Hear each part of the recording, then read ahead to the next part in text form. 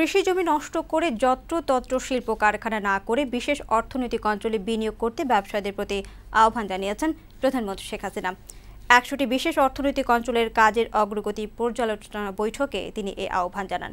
প্রধানমন্ত্রী বলেন, দেশকে সমৃদ্ধশালী করতে ও মানুষের অর্থনৈতিক মুক্তির লক্ষ্যে কাজ করছে সরকার। রিপোর্ট করেছেন পার্থ রহমান। বাংলাদেশ অর্থনৈতিক অঞ্চল কর্তৃপক্ষ বেজার পরিচালনা পর্ষদের পঞ্চম সভায় সভাপতিত্ব করেন প্রধানমন্ত্রী শেখ হাসিনা। সভায় বেজা কর্তৃপক্ষ দেশের একশোটি বিশেষ অর্থনৈতিক অঞ্চলের কাজের অগ্রগতি তুলে ধরে।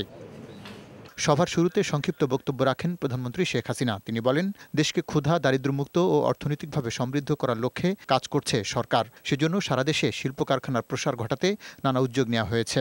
আরেকটা বিষয় আমি লক্ষ্য করতে বলেছি সেটা হলো কোন এলাকায় এই মানে আমাদের শিল্প অঞ্চলটা হচ্ছে সেই এলাকায় কোন ধরনের পণ্য উৎপাদিত হয়? কাঁচামাল হিসেবে ব্যবহার করার যোগ্য কোনো পণ্য আছে কি না? তাহলে তার উপরেও কিছু কিছু ইন্ডাস্ট্রি যেন হয় সেদিকেও লক্ষ্য রাখা।